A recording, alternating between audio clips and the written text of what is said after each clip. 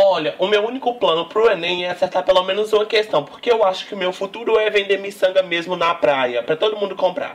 Meu amor, você acha que eu tô me importando com nota de Enem, sendo que meu talento é na, é na cama? Eu só vou fazer esse Enem pra ver se eu encontro alguém bonitinho na minha sala que fica afim de mim, que eu fico afim de. E a gente se arruma assim no canto, se beija, se pega. E eu saio do Enem pelo menos feliz. Porque com nota com certeza eu não vou sair. Porque eu não sei nem o que é tabela periódica, eu não sei nem o que é química.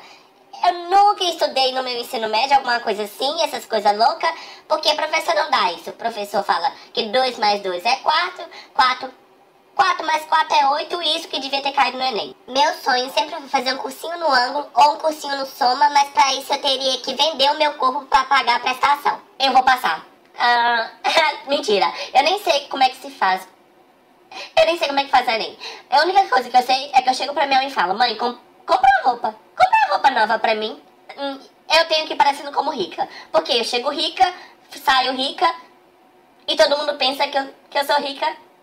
E se eu sou rica, eu não preciso do Enem, quem precisa? Só o pobre mesmo. Minha única expectativa é não ficar do lado de fora igual eu fiquei na última edição. Porque eu fiquei do lado de fora, tentei entrar e minha cabeça ficou agarrada na grade por duas horas até o Samu chegar. Minha expectativa para a redação é que caia malandramente a menina inocente se envolveu com a gente só pra poder curtir. Malandramente fez cara de carente, envolvido com a tropa, começou a seduzir. Ai, safada, na hora de ganhar madeirada, a menina meteu o pé pra casa. A minha única expectativa é que o demônio que senta do meu lado seja bem bonitinho, bem gostosinho. Ah, bem bonito, que eu queira beijar na boca.